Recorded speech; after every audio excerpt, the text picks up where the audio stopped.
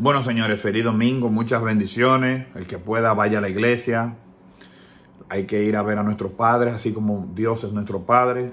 Tenemos que irlo a ver igual que como nosotros hacemos esa práctica de ir a ver a los viejos.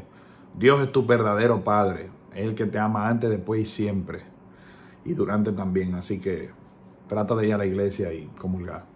Nuestro país hay que orar por él. Hoy voy a hacerle, hoy le iba a dar muchas informaciones sobre diferentes cosas. Pero voy a hacer un pequeño resumen sobre eso porque aquí hay algo más que tenemos que hablar y que son cosas serias. El caso de Magali, por ejemplo, Feble, el caso de ella que la sacó la tora, esto y que aquello.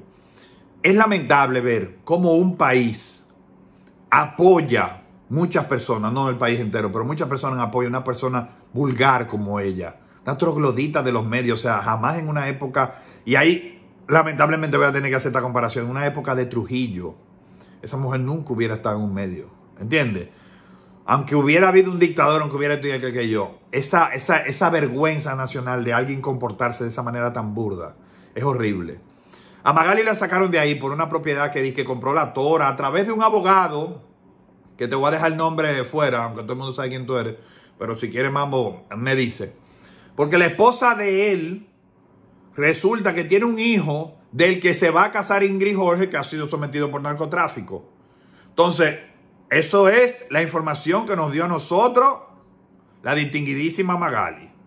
Entonces, nosotros con ese dato lo sumamos a que desde que César estaba por caer, habían 400 mil dólares un apartamento embargado, que es donde la Tora se mudó ahora de ultra lujo.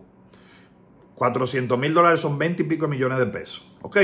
Y ese apartamento, que ella vive a todo lujo ahora, la hija casándose con un capo, la tora, que hay un sometimiento mío en el, en el DICA, pero que no lo han procesado los fiscales, que mandó y reposteó para que se me diera mi golpiza.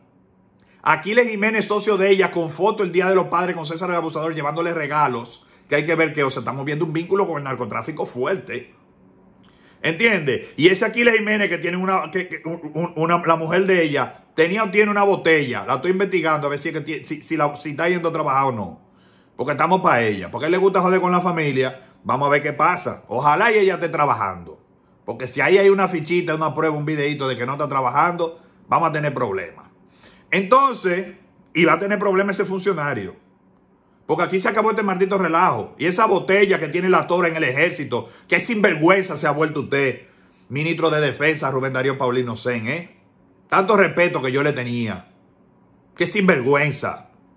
Usted tiene que ser un hombre, coño. Y poner las cosas como son. Y quitar toda esa sabandija viviendo como lacra del Estado. Yo tengo sangre azul. Nosotros tenemos una botella con el pueblo. Y la maldita botella que tú tienes en los Emiratos Árabes porque hay un decreto y tú no estás allá. No te quieren allá. Escapando de ese círculo traficante. ¿Eh? Oh, qué bien.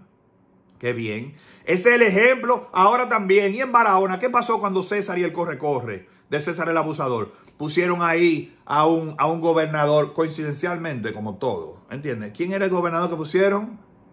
¿Cuál era el apellido? Ese fiscal, apellido Rubio, por cierto, no es Rubio mío, porque mi Rubio no es de República Dominicana, mi Rubio vino de, de, de Estados Unidos. Pero independientemente de todo, ese Rubio, ese fiscal, tenía investigaciones por narcotráfico hace mucho más de que en la noticia. Dije, tiene 10 meses. 10 meses, papá. Pero eso está roncando de hace muchísimo tiempo que ese tipo está vinculado. A ese hubo que hacerle un reporte fuera del país. Hace como cuatro meses porque no se aguantaba más.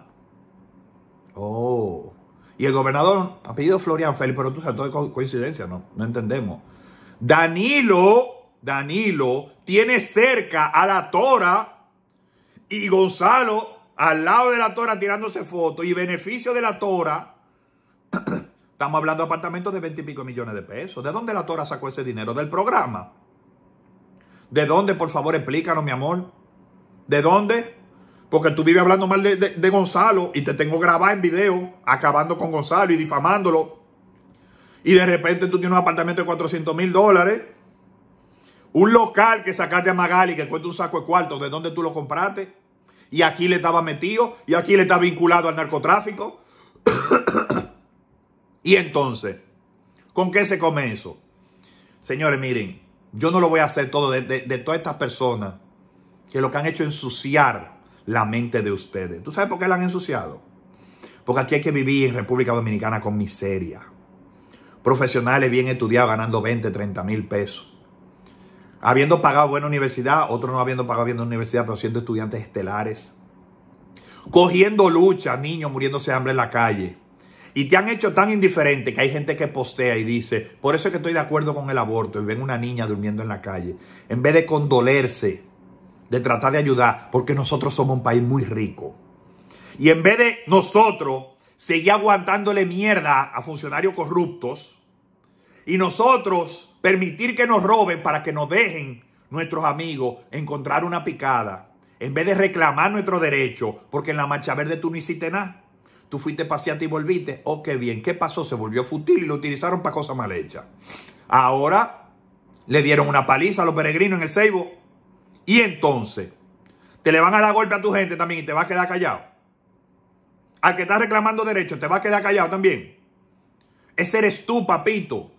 Te han metido tanta basura en la cabeza que por eso te duele cuando yo te hablo. Ah, no, que el tiempo que sé yo, que te duele, pero que te tiene que doler, viejo. Te tiene que doler tu indiferencia. Tienes que hacer algo. Tiene que hacer algo, papá. Porque ¿cómo puede ser que se justifique que haya aborto porque, no haya, porque haya niños en la calle? Nosotros teniendo una de las minas con Haití, de las tres más grandes del mundo de oro. Porque Barry, Danilo negoció porque Leonel le entregó por 3%.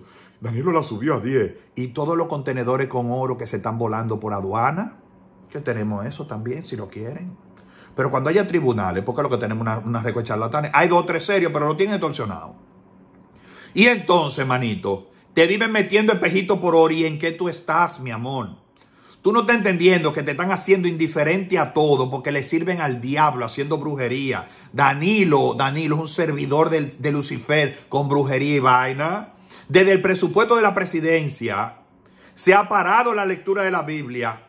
Se ha permitido que se hagan cultos eh, y que en los colegios, que yo qué, que por los haitianos, que muchísimos no tienen papeles, no se hable de Dios. ¿Entiende? Sin embargo, le hacen publicidad en cuando San Juan viene un brujo y tienen que y, van a hacer los eventos. Papá Liborio, papá que sé yo qué, la brujería, directo desde el presupuesto de con, no, escrito y tuiteado por ese, por ese, ese sarnoso. Porque para mí es un sarnoso. Yo lo siento, si eso es injuria, haga lo que usted quiera. Pero para mí usted es un sarnoso, señor, señor Marchena. Porque usted, yo he hablado con usted y usted ya sabe que hay un país que es católico y que hay un concordato, usted debe respetarlo como funcionario público. Y en vez de eso, prohibir las cosas que se han hecho a través de un tratado internacional, el concordato, usted ha preferido apoyar la magia negra, la brujería, posteando en su propio Twitter y pagándose con presupuesto del Estado videos y cortes con el dinero de nosotros, de la brujería a la que le sirve el presidente y le sirven los invasores. ¿Qué más tú quieres, mi amor?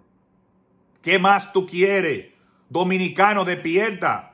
Es hoy que te necesita tu país porque mañana no va a quedar nada. Están negociando esa mina. Están negociando Manzanillo. Ahora mismo pusieron un escáner para saber dónde tú estás de cara y todo eso. Que hasta la misma UA lo pidió para la seguridad de ellos y se lo pusieron el 911. Donde Montalvo es el que me causó el problema con César el Abusador. Donde Montalvo es el que controla todas las cosas que se manejan de información para él hacer los planes macabros de todos los abusos que hay.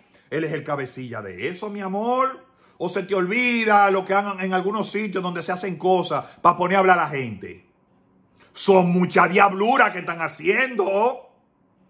Entonces, para colmo, la seguridad la montan ellos externa para poder copiar, pero no quisieron a los americanos dar la información del padrón y esto porque venía la mafia de la trampa. Y se ponen a pagarle a periodistas de que comunistas para decir eso y defender por qué, que los abusos de los americanos, pero lo premian con puesto en consulado y vaina. Yo les quiero agradecer a todos los que en Patreon nos aportan porque ustedes están haciendo algo que la gente no tiene el valor ni de salir a la calle ni de hacer nada. Y ustedes están sacrificando lo de ustedes por un ideal. Ese ideal vale la pena porque nuestro país es rico. Y yo no lo quiero perder porque yo no quiero dejar de ser dominicano por un grupo de ladrones. Gobierno limpio.